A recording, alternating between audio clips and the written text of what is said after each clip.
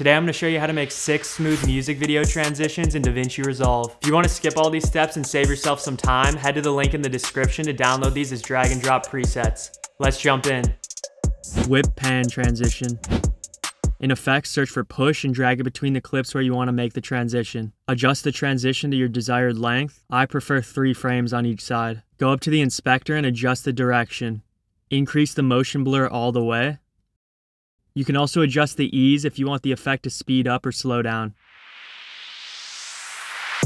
Spin transition. Create an adjustment layer 12 frames long above your cut point. You want two of the frames to the left of the cut point and 10 of the frames to the right of the cut point. Go to Fusion, select Media in 1, and press Shift Spacebar. Search for Transform and press Enter. Hover the playhead at the start of your clip. Go up to the Inspector. Keyframe the rotation. Make it 360. Now hover the playhead to the end of the clip and make the rotation 0. Go down to Animation and increase the motion blur all the way. Go down to Advanced Options and change the edge behavior to Reflect. Go up to Spline Toggle transform on, press the zoom to fit button. Now highlight all of your points and press S on your keyboard. And then just pull the lines in like this, and there you go. Speed blur transition. Option click on your clip and drag it above itself to duplicate it. Right click on the top clip, change clip speed, and change it to negative 1000. Select ripple timeline. Now take this clip and drag it above the end of your bottom clip.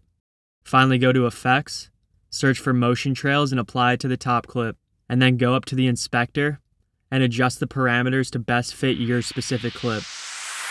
Masking person transition. Option click on your second clip and drag it above itself to duplicate it. Select your top clip, go to Fusion, select Media in 1 and press Shift Spacebar. Search for Magic Mask and press Enter. Hover the playhead at the start of the clip and roughly draw around your subject. In the inspector, change the mode to better and the refine range to around 40. Now press this button to track forward when it's finished, go back to the timeline view. Now drag your previous clip 5 to 10 frames into the bottom second clip. Hover the playhead at the cut point, select the top clip, go up to the inspector, press keyframe on position. Now go to the beginning of the top clip and change the Y position value until your subject is out of frame. Swirl cut.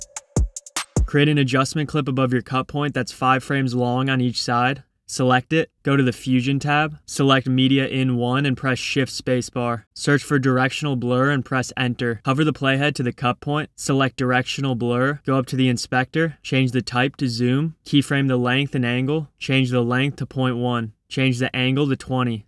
Hover the playhead to the start of the clip and change the length and angle to 0. Hover the playhead to the end of the clip and do the same thing. Go up to Spline, toggle these on, press this Zoom to Fit button, now highlight all of your points, press S on your keyboard, and there you go. Vortex transition.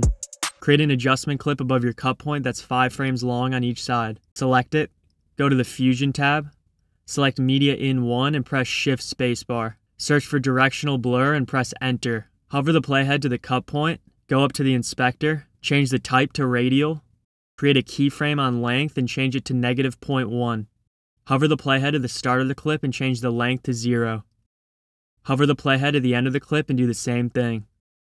Go up to Spline, toggle Directional Blur on, press the Zoom to Fit button. Now highlight all of your points and press S on your keyboard. And there you go.